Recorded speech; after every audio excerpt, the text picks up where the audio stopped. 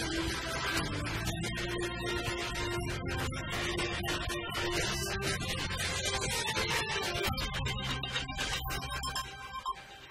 akşamlar sevgili seyirciler. İzabel TV'de ana haber bülteniyle sizlerle beraberiz. Cumhuriyet Halk Partisi lideri Kılıçdaroğlu, ülkesinin istihbarat teşkilatının Nazi dönemi Alman gizli servisi Gestapo'ya benzetti. CHP lideri Kılıçdaroğlu ülkesinin istihbarat teşkilatını Gestapo'ya benzetti. Partisinin bölge toplantısına katılmak üzere Erzurum'a gelen Kemal Kılıçdaroğlu, Alapaşa Mahallesi'nde Gençlik Merkezi'nin açılışını yaptı. Burada bir gazetecinin MİT'in CHP'yi bölme iddiası gündemde.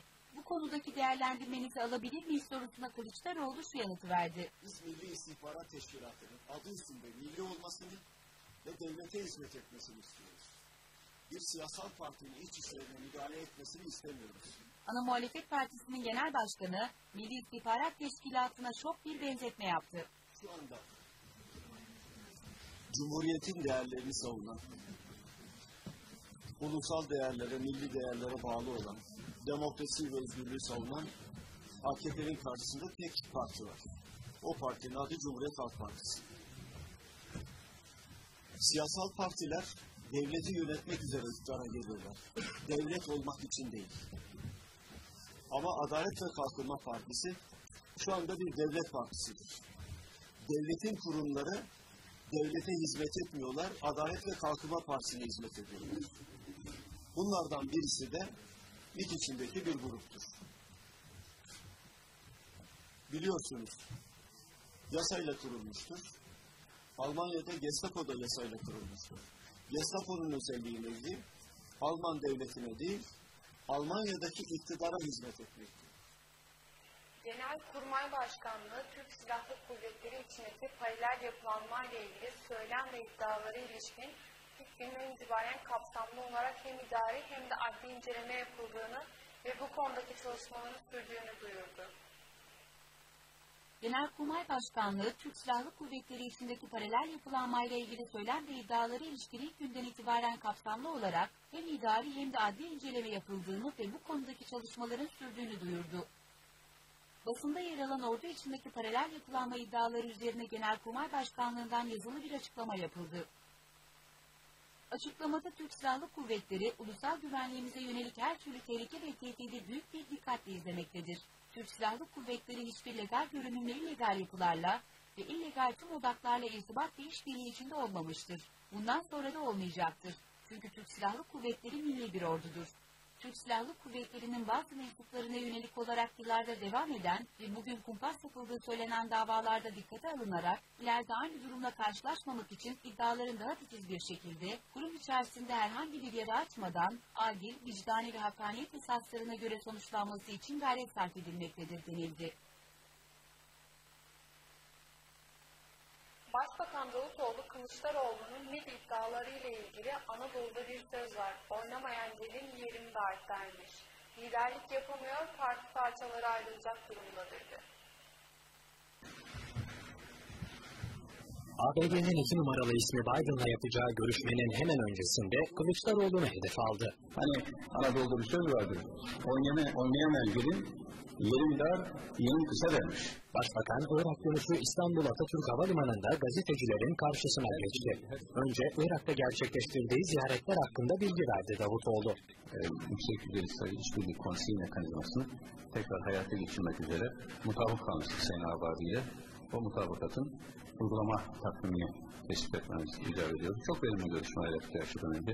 Başbakan Joe Biden'ın Türkiye ziyaretine de değindi. Görüşmede masada nelerin konuşulacağını söyledi. Suriye konusunda da son üç e, buçuk yıl içinde olan her gelişmeyi her aşamada istişare ettik. Irak'ta Musul'a IŞİD dönük IŞİD saldırıları sonrasında bu görüşme trafiğimiz daha da arttı. Sayın Cumhurbaşkanımızın NATO'da Sayın Obama ile görüşmesi vardı biliyorsunuz. Orada bizim bu olaya bakışlar şeklimiz kendisiyle paylaşıldı Sayın Cumhurbaşkanımız tarafından.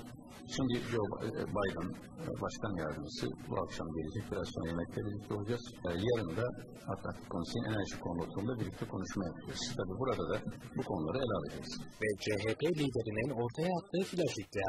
Partisinin MİT tarafından karıştırılmak istendiğini ifade etmişti Kılıçdaroğlu. Başbakan Kılıçdaroğlu'nun bu iddiasına cevap verdi.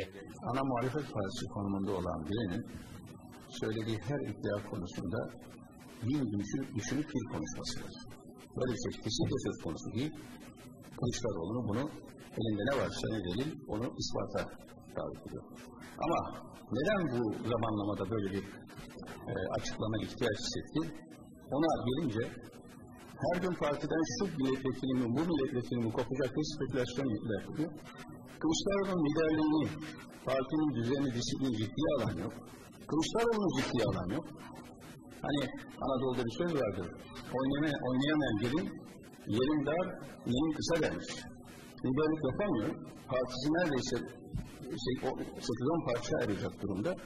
Bu, par bu parçalanmadan, bu bozulmadan dışarıda bir aktörü hem de böyle gizemli bir şekilde sorumlu tutarak kendisini kurtarmaya çalışıyor. Afyonkarahisar'da kömür yüklü bir tır sürücüsünün direksiyon hakimiyetini kaybetmesi sonucu iki katlı evin bir birinci katına girdi. Edinilen bilgiye göre kaza öğlen saatlerinde Çay ilçesi Vakıf Mahallesi'nde meydana geldi. Konya Afyonkarahisar karayolunda seyir halinde olan Durmuş T yönetimindeki tır sürücüsünün direksiyon hakimiyetini kaybetmesi sonucu Köy Öğretmen Evi'nin yanındaki Mevlüt Yıldırım'a ait iki katlı binanın birinci katının salonuna girdi. Kaza esnasında evin mutfağında iş yapan ve ismi henüz öğrenilmeyen kadının şoka girdiği belirtildi.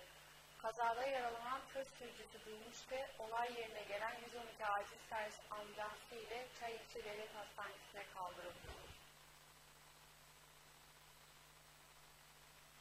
Denizli'de uyuşturucu krizine girdiği iddia edilen 25 yaşındaki genç, uyuşturucu parası bulmak için girdiği bir markette bıçakla kasiyeri tehdit ederek 255 TL gasp etti. Olay güvenlik kamer kamerasına saniye saniye böyle yansıdı. Denizli'de uyuşturucu krizine girdiği iddia edilen 25 yaşındaki genç para bulmak için market soydu.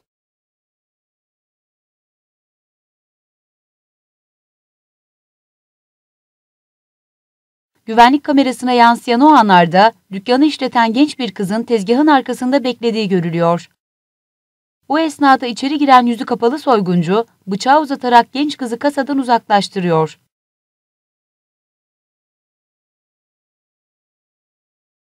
Saniyeler içerisinde kasadaki paraları alıp kaçan hırsız, bir saatlik çalışmanın ardından yakalandı. Genç soyguncu tutuklanarak cezaevine gönderilirken çalınan paralar market sahibine teslim edildi. Muğla'nın Bodrum ilçesinde kocası tarafından bıçaklanan kadın bir restoranda sığınarak yardım istedi. Kocası tarafından sokak ortasında bıçaklanan kadın kanlar içinde koşarak bir restoranta sığındı.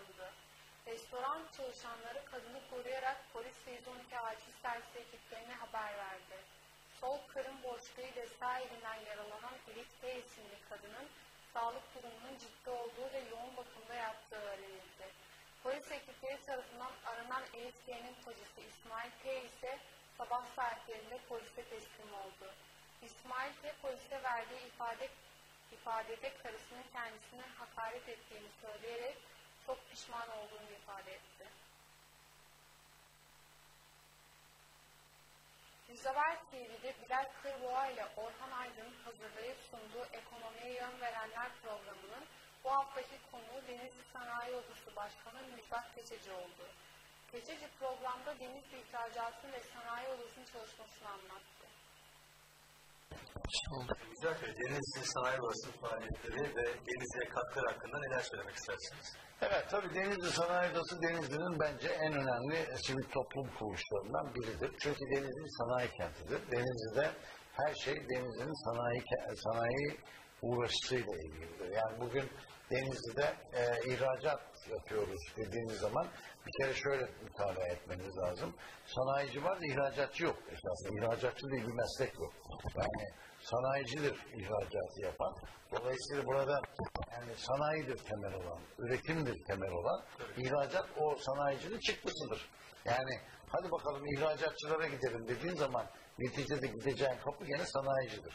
Dolayısıyla sanayi kenti e, olunca Denizli ve de bunun içerisinde ağırlıklı mesela tekstili, metali olunca sanayi odasında bu o, beldede yapması gereken önemli işler sanayiye meyletmesidir ve sanayinin daha tekamül etmesini, daha yaygınlaşmasını ve iş ve istihdam yaratmasını ve ihracat yapması gibi olayların içerisinde olmasını sağlamasıdır.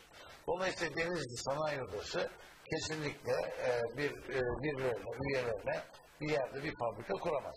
Ama Denizli Sanayi Odası yeni yatırım konularında siyasi iktidarın yatırım için teşvik tedbirlerinde, sanayisi yurt dışındaki bir takım sanayi dallarının veyahut da sanayicilerin Denizli'ye gelmesinde, sanayicilerle sanayicileri buluşturmakta, yeni bir takım imkanları Denizli'de yaratmak için eee üyelerini eğitmekle ve Denizli'de sanayi olarak sanayicilerin dünyaya açılmak için rehberlik yapmakta eee görevleri vardır. Ve Deniz Sanayi Odası bunları yapıyor. Mesela şu andaki yani geçmişte şunları yaptık. Mesela ben rahatlıkla e, bundan 7-8 sene önceden beri yaptığımız işlerin içerisinde en önemlisi uluslararası teks- e, te- tekstil e, inovasyon ve ARGE günleri yaptık. Dünyanın sayılı bu konudaki yetkili insanlarını ulusal e, yetkisi olan insanları Denizli'ye getirdik, konuşturduk ve Denizli sanayicisiyle buluşturduk. Bunun dışında Denizli'de özellikle üniversite sanayi işbirliğini artırmak için bayağı e, üniversitenin üstüne gidiyoruz. Ve bu konuda e, bayağı e, Denizli'de faydalı olmak için eğitim kurumlarının içindeyiz. Aydın İl Emniyet Müdürlüğü Trafik Denetleme Şube Müdürlüğü tarafından 2014 yılının ilk 10 aylık döneminde yapılan denetimlerde 17.677 sürücüye ceza kesildiği belirtildi. Aydın Emniyet Müdürlüğü Trafik Denetleme Şube Müdürlüğü 2014 yılının ilk 10 aylık döneminde Merkez Yapılar ilçesinde kontrollerini aralıksız olarak sürdürdü. Yapılan denetimler sonucunda park ve duraklama kurallarına uymayan 6006 sürücüye, kask, kask ve emniyet kemeri takmayan 1719 sürücüye, hız ihlali yapan 4979 sürücüye, alkollü olarak araç kullandığı tespit edilen 375 araç sürücüsüne uyuşturucu madde etkisinde, uyuşturucu madde etkisinde araç kullandığı tespit edilen 15 sürücüye, kırmızı ışık ihlali yapan 727 araç sürücüsüne, kamunun rahat ve huzurunu bozacak şekilde gürültü çıkaran 940 araç sürücüsüne cezai işlem uygulandığı söylendi.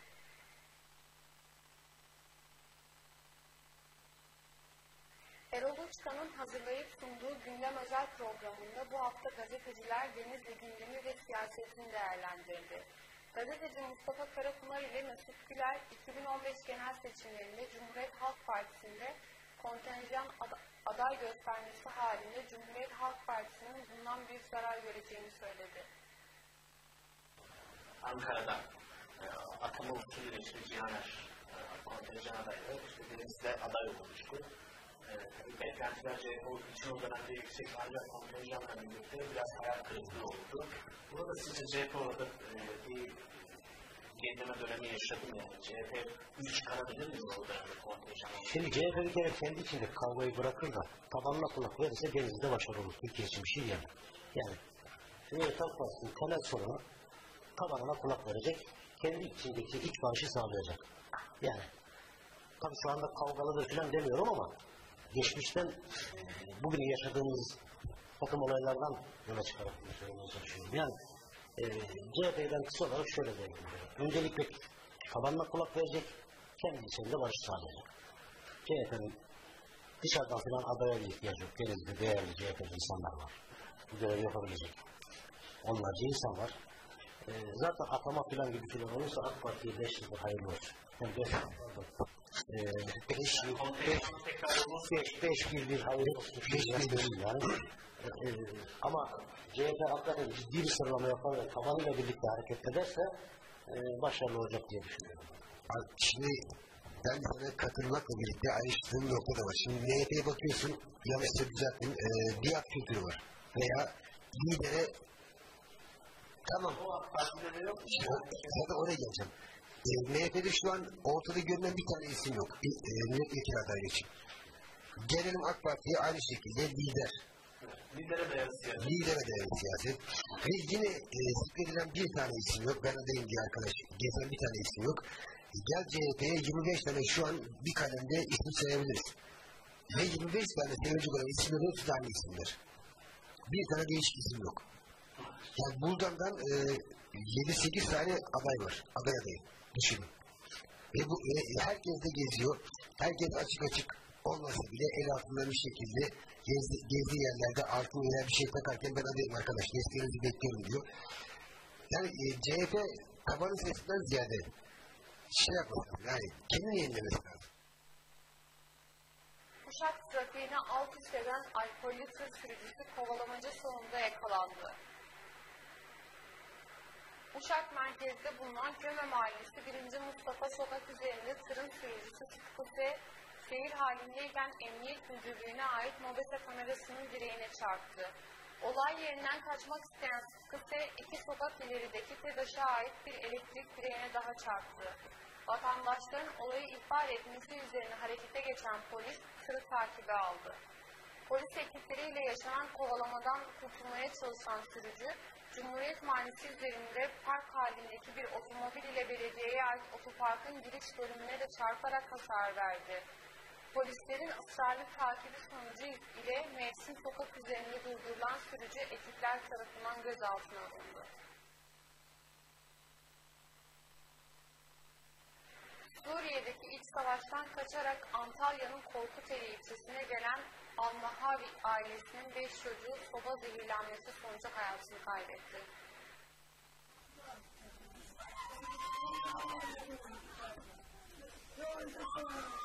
Suriye'deki iç savaştan kaçarak Antalya'ya gelen Almaha ve ailesinin 5 çocuğu soba zehirlenmesi sonucu hayatını kaybetti. Korkuteli ilçesinde ikamet eden Suriye uyruklu 5 çocuk, kömür sobasından çıkan karbonmonoksit gazından zehirlendi.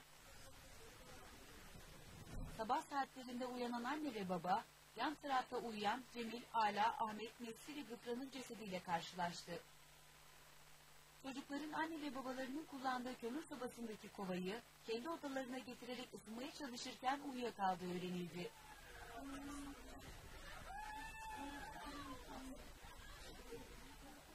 ...15 gün önce Suriye'den kaçıp Antalya'ya yerleşen 5 kardeşin cenazesi Suriye'de defnedilecek.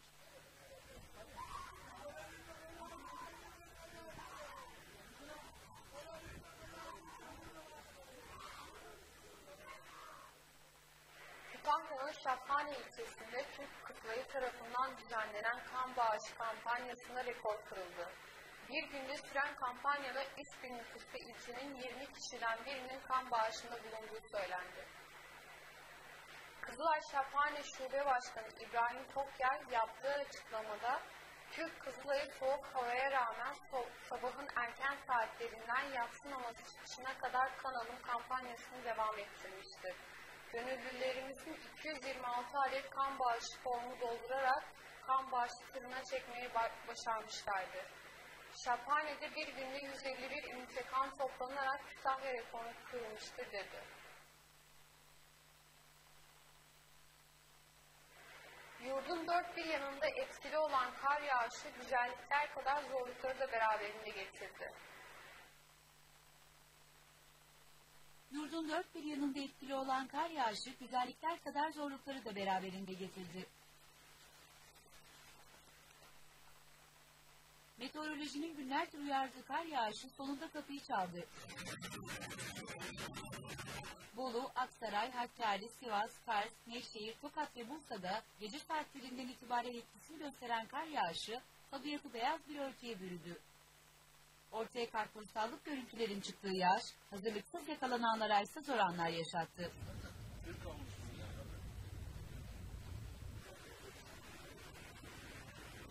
Tonajla köy yolunun trafiğe kapandığı yağışlar, Abant, Uludağ ve Kapadokya gibi turistik merkezlerinde ayrı bir büyük attı. Muğla'nın Marmaris ilçesinde kavşakta 3 aracın çarpışması sonucu meydana gelen trafik kazasında 2 kişi yaralandı. Kazada araçlar olay yerinden vinçler yerine insan gücüyle kaldırılarak yol trafiğe açıldı. Kaza öğlen, öğleden sonra Marmaris Aksaz yolu üzeri 3 yol kavşağında meydana geldi. Rauf Kağan'ın kullandığı otomobil 3 yol kavşağında dönmek isterken Güven T'nin idaresindeki otomobille çarpıştı.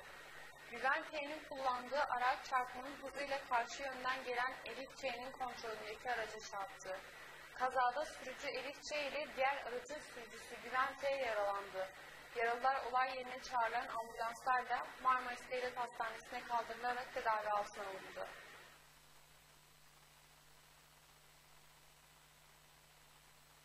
Galatasaray 2. Başkanı Abdurrahim Albayrak dün akşam yaşanan ve bir Sırp taraftarının ölümüne yol açan olaylara ilişkin detaylı bilgi verdi. Yıldız Kulübü bize 70 kişilik bilet talebinde bulundu. Galatasaray 60 70 bileti kendilerine tahsil etti.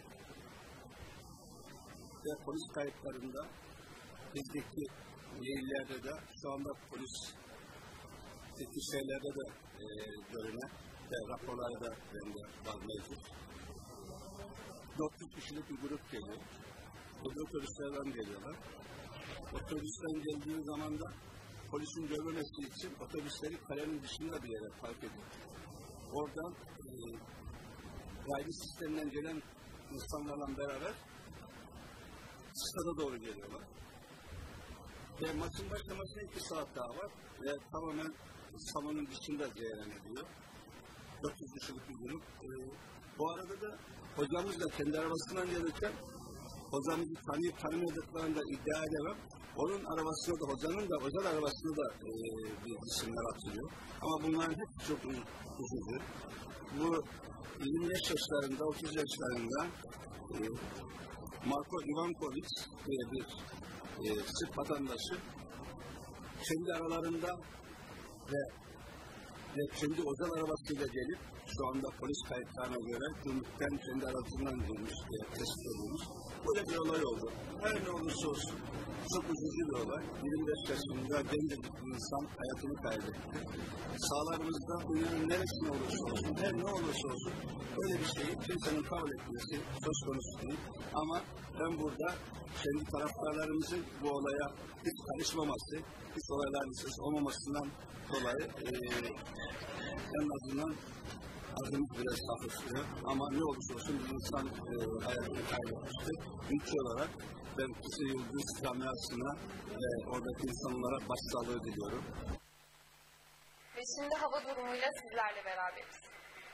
İzmir parçalı bulutlu 6 derece, Denizli az bulutlu 4 derece, Aydın az bulutlu 6 derece, Muğla az bulutlu 2 derece, Manisa parçalı bulutlu 5 derece, Uşak parçalı bulutlu 0 derece, Afyon çok bulutlu eksi 1 derece ve Kütahya çok bulutlu eksi 2 derece. Şimdi para durumuyla sizlerle beraberiz. Gram altın 85 TL, dolar 2.230, euro 2.755 ve borsa 83.282 ile kapatmış. Müzeber TV'de haber bültenin sonuna geldik. Daha fazla haber için müzeber.com'u ziyaret edebilirsiniz. Yani tekrar görüşmek dileğiyle iyi akşamlar.